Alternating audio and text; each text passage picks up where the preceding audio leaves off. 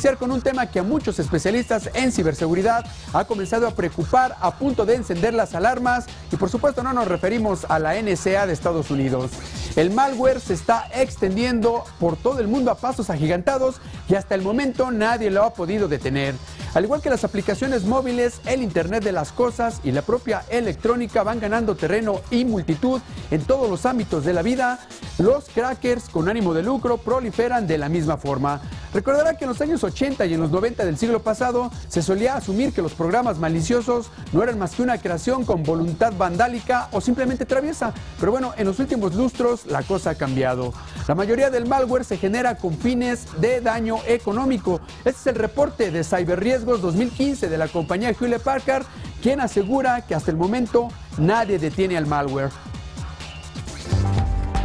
las armas preferidas de los cibercriminales para robar información son los malware o también llamados códigos maliciosos, los cuales han demostrado ser no solo efectivos en las computadoras, sino también en los dispositivos móviles, sin que hasta ahora exista una forma absoluta para que las personas y empresas puedan protegerse. En el reporte de Ciberriesgo 2015, elaborado por HP, se indica que las nuevas muestras de código malicioso casi se duplicaron de 2013 a 2014, al pasar de 83 millones a 140 millones. vicepresidente senior y gerente general de los productos de seguridad empresarial en HP, indicó que si se extrapolan esos números, es posible alcanzar la marca de 200 millones este año. Lo anterior representa un reto para las empresas de ciberseguridad, porque tendrían que analizar cada día al menos 600.000 muestras de malware para mantener protegidos a los clientes, algo en lo que han logrado avanzar usando tecnologías que basan la vigilancia en comportamientos particulares, en vez de monitorear la presencia de archivos particulares y aprovechando el análisis de datos para detectar nuevas familias de malware. Sin embargo, Gilliland se pregunta si realmente la industria está ganando la guerra contra el malware o están siendo arrastrados por la corriente ya que durante el HP Discover 2015, los expertos de seguridad de la empresa consideraron que el código malicioso más preocupante tanto para las empresas como para las personas es el ransomware ya que puede atacar computadoras y dispositivos móviles. Y lo más destacado es que este tipo de malware cifra los datos de sus equipos y la única manera de recuperarlos es restaurar con una copia de seguridad, que pocas personas hacen.